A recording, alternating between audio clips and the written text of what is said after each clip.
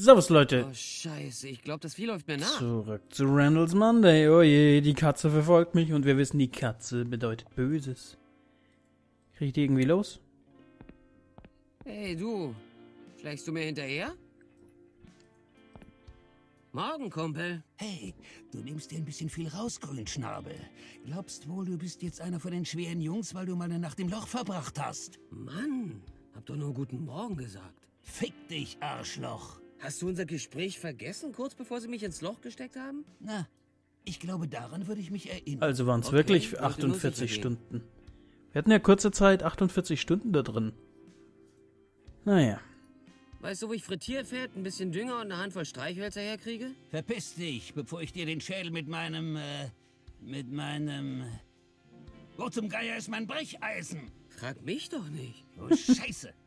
Ich muss mir neues Brecheisen besorgen. Ja, na dann viel Glück. Bist du immer noch da? Ich dachte, ich hätte mich klar ausgedrückt. Bin schon weg, bin schon weg. Na gut.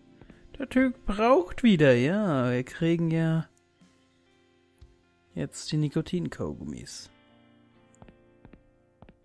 Hey, was geht's, Lisi? Sieh mal einer an, wenn das nicht der Grünschnabel ist. Ich hörte, du hast deine erste Nacht im Loch verbracht.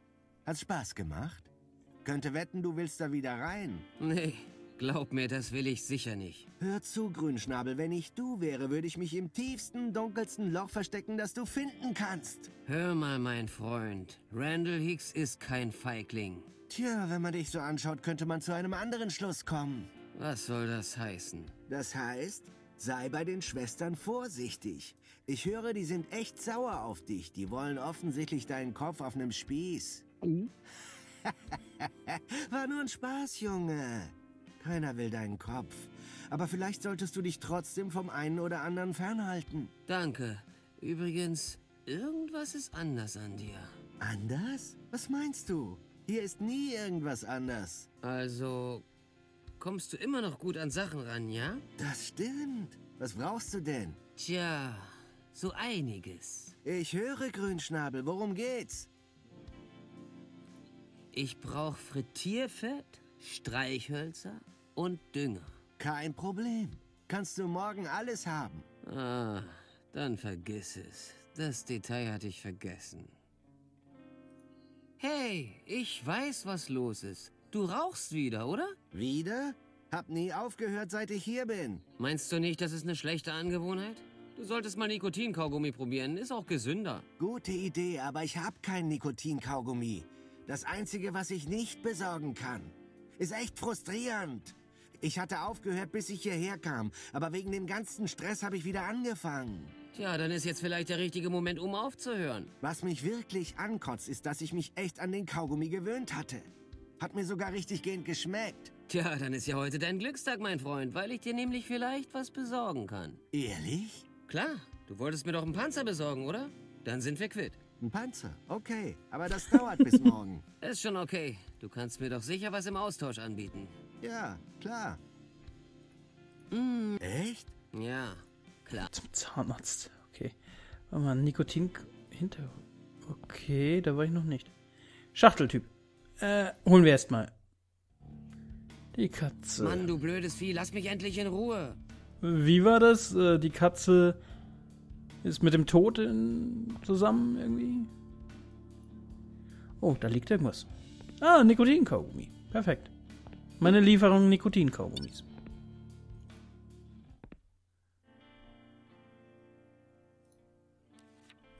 So, dann tauschen wir mal ein gegen irgendwas. Hier ist der Nikotinkaugummi. Wie versprochen. Ha, spitze. Kann ich dir eine Zigarette und ein Streichholz im Austausch anbieten? Okay. Okay, hier, bitte.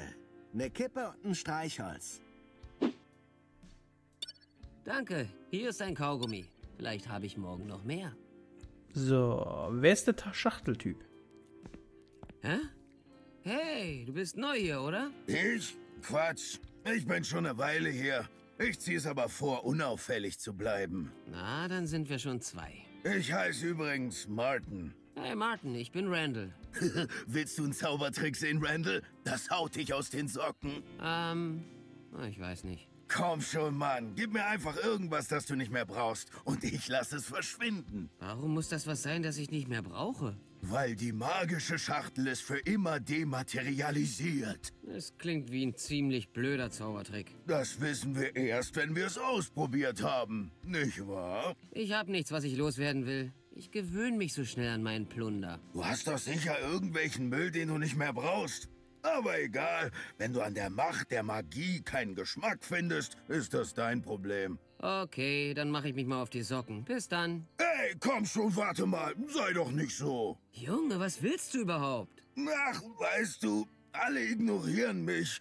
Keiner will meinen Zaubertrick sehen. Naja, du bist doch nicht gerade David Copperfield. Ach komm schon, lass mich nicht betteln. Bitte, ich will meine Gabe mit dem Rest der Welt teilen. Klar.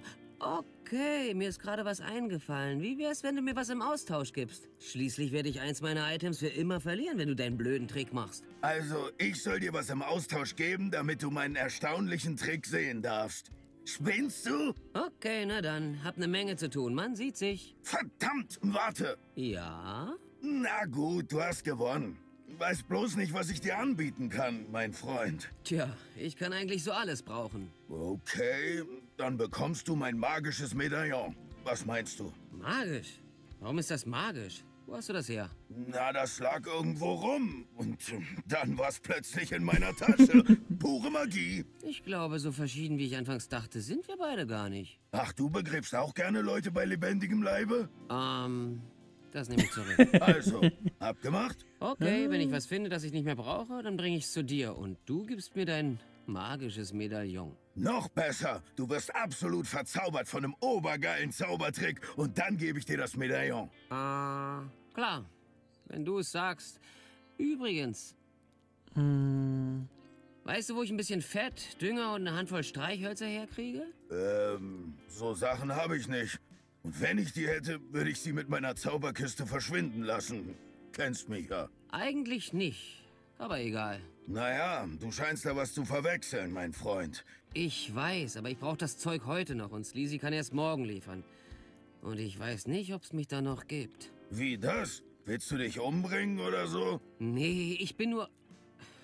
Warum rede ich überhaupt noch mit dir? Weil du mich gut leiden kannst und weil du ganz versessen auf Zaubertricks bist. Ja, klar.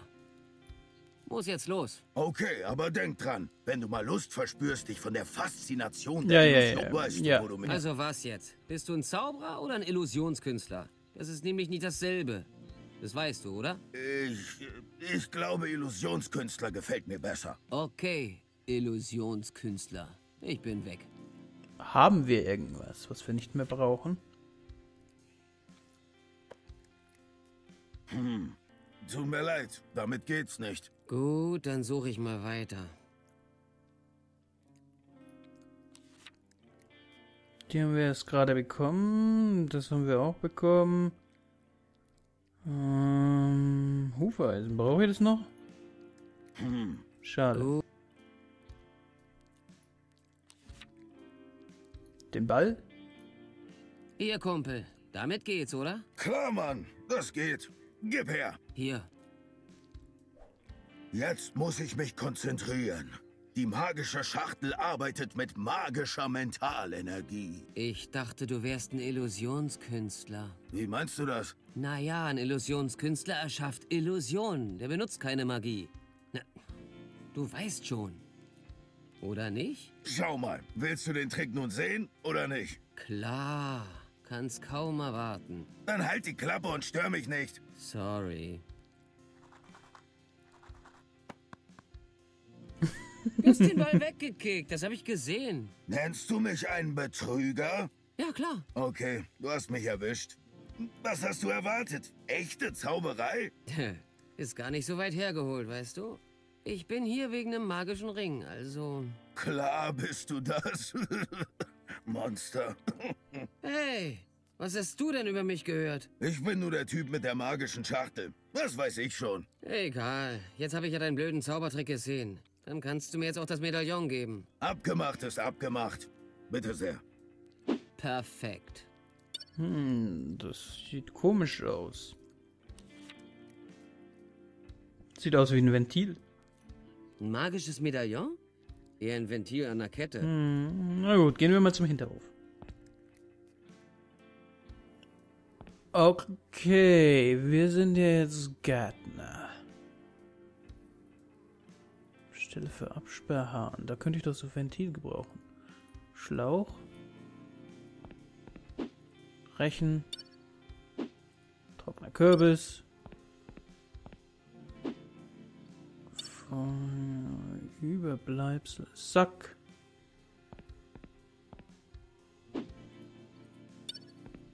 Mache ich lieber nicht. Ein paar Stücke Holz, die zusammengenagelt und in den Boden gerammt wurden. Trog. Total ausgetrocknet. So, kann ich das aufbrechen mit dem Brecheisen?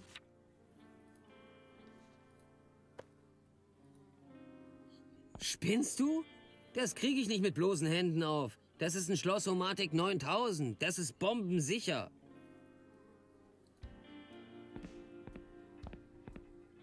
Die Katze ist immer noch da.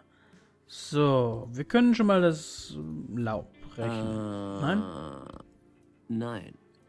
Hm, wir können...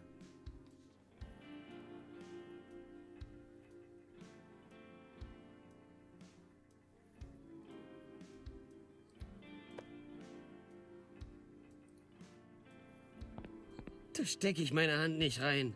Da sind Westen drin. Da sind Wespen drin. Okay, ja, ja. Was machen wir denn? Ein alter leerer Kartoffelsack. Der Kürbis sieht aus, als würde er schon lange rumliegen.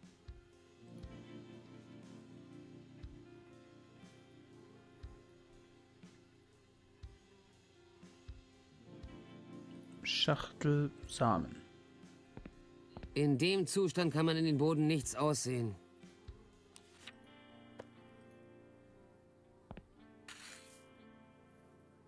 Okay. Tja, ich bin zwar kein Fachmann, aber das sieht doch schon ganz gut aus. Jetzt zum nächsten Schritt. Hm, jetzt aussehen.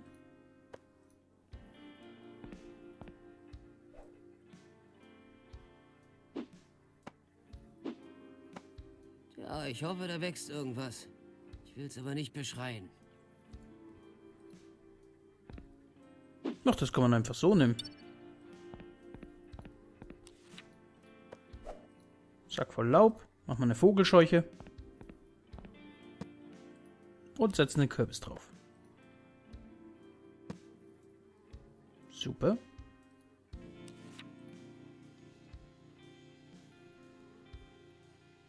Braucht die Vogelscheuche noch eine Zigarette. Das wird nicht klappen. Tja, da habe ich wohl eine alte Vogelscheuche wieder zum Leben erweckt.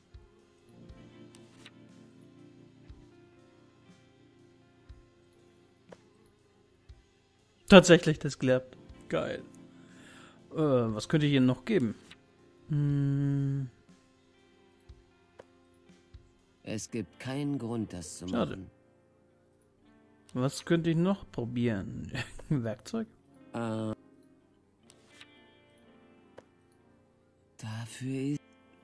Okay, damit äh, abseifen Das macht... macht keinen Sinn. Okay, okay, okay. Einfach abwischen. Oh, das geht. Oh, jetzt stinkst du ja fast so wie ein paar von den Insassen hier drin. Vielleicht sogar noch ein bisschen mehr. Vielleicht auch nicht. Gestank ist schwer vergleichbar. Oha. Die Katze? Ach, deswegen ist mir die Katze die ganze Zeit gefolgt, wegen dem Schwamm mit dem Rattensekret. Oh, jetzt verstehe ich. Ich werd gar nicht sterben. Die Katze wurde nur vom Gestank der toten Ratte aus dem Schwamm angezogen. Dich brauche ich nicht mehr in meinem Inventar. Raus mit dir. Okay.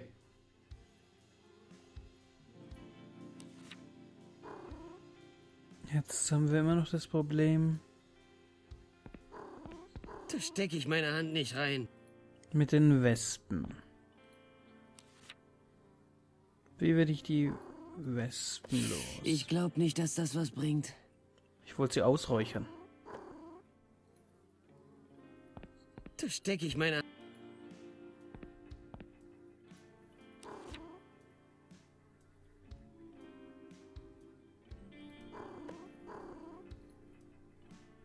Da stecke ich meine Hand... Ich will auch den giftigen Schnaps da reinstellen.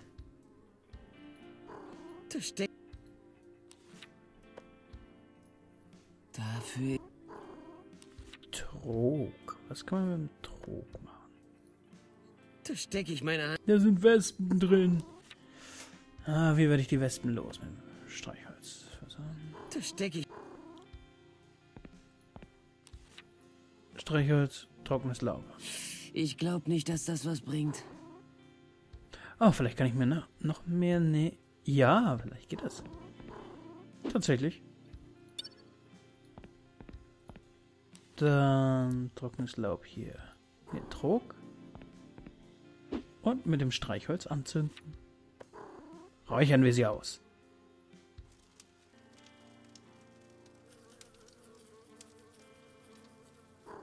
Das wär's. Verschwindet, ihr Drecksviecher, und kommt ja nicht wieder. Super.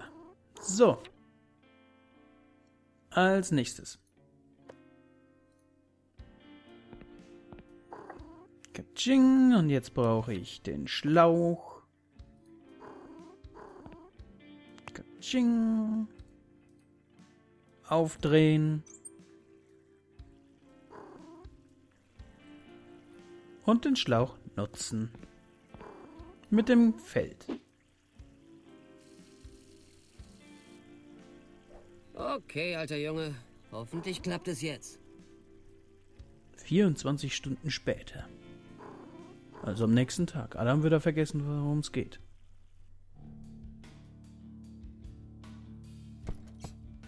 Okay, heute ist der große Tag. Auf zum Feld.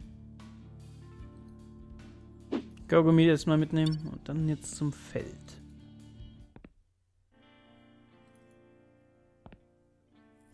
Ein Kleeblatt. Ich hab's geschafft. Es wächst was und die Krähe hat's nicht aufgefressen. Mann, ich hab mich nicht mehr so gut gefühlt, seit ich das der Pate-Box-Set gekauft hab und der dritte Teil war nicht dabei. Das ist echt stark. Die Krähe hat's nicht aufgegessen. Okay. Muss sagen, du hast den Test bestanden. Glückwunsch. Von nun an bist du der Gefängnisgärtner. Hier der Schlüssel, wie versprochen. Danke, Murray. Ihre freundlichen Worte erwärmen mir mein Herz. Hey, könnte ich nicht auch für die Frauenabteilung verantwortlich sein? Du solltest das lieber ernst nehmen, Junge. Der Schlüssel ist eine große Verantwortung. Vergiss das nicht. Sie werden stolz auf mich sein, Murray. Kann ich das Kleeblatt, Kleeblatt mitnehmen? Tatsächlich, oder? Ah. Oh, warte mal. Ähm, Schlüssel zur Kiste. Ich wusste es. Dieser üble Gestank konnte nur eins bedeuten. Dünger. Äh, ihr her damit. Okay, ich hab den Dünger. Jetzt sollte ich mich um den Phosphor kümmern. Weiß auch genau, wo ich den herbekomme. Brauch nur ein bisschen Geduld. Und woher? Ah.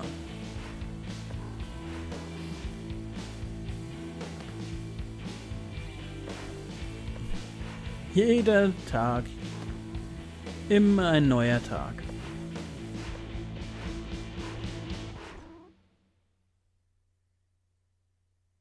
Tag 2189, Montag, Randalls Erlösung. Wie ich schon sagte, im Gefängnis wird ein Mann fast alles tun, um seinen Geist in Bewegung zu halten. Wie es schien, war Randys Lieblingsbeschäftigung das Horten von Zigaretten und Streichhölzern. Immer eins nach dem anderen, Tag ein, Tag aus. Schätze, nach allem, was er hinter sich hatte, entschied er einfach, dass es nun Zeit war zu gehen. Nun gut, Gefangene, hört her. Wie ihr bereits wisst, haben wir gestern Mr. Randall Hicks in unserer Mitte begrüßen dürfen. Keiner weiß, ob er so eine Art Tabakmogul ist oder nur ein Typ, der viele Ressourcen hat. Tatsache ist jedenfalls, dass er einige Gegenstände in seiner Zelle hat, die hier sehr begehrt sind. Deswegen hat er sich gewisse Privilegien erworben. Vergesst das nicht. Und zollt ihm den notwendigen Respekt. Danke für die Vorlesung, Mr. Schlüsselbrett. Aber die Tatsache, dass wir hier alle vor seiner Zelle stehen, beweist ja, dass wir wissen, wie gut sich Mr. Hicks um seine Freunde kümmert. Uh, ich habe sogar Leibwächter. Nice. Ja, ja, ja. Heute ist der große Tag, ich kann's fühlen. Ich war jetzt lange genug hier drin eingesperrt. Irgendwie traurig, hier einfach abzuhauen. Hab mich richtig in dieses Drecksloch gewöhnt. Egal, Zeit an die Arbeit zu gehen. Mal sehen, was wir alles haben. Seife? Check. Phosphor? Check. Über 400 Pfund Streichhölzer sollten wohl genügen. Frittierfett? Negativ. Rosa Wismut? Nein. Und Dünger? Habe ich schon. Tja, dann muss ich den Rest mal besorgen. Kann ja nicht so schwer sein. Rein theoretisch. Und wieder den Kaugummi mitnehmen. Okay. Dann werden wir beim nächsten Mal versuchen, das Frittierfett und den rosa Witzmut zu bekommen. Oh, ich habe mir ein gutes Lager angehäuft. Mit den ganzen Zigaretten bin ich voller Händler. Okay, vielen Dank fürs Zusehen. Liken bitte nicht vergessen und ciao, bis zum nächsten Mal.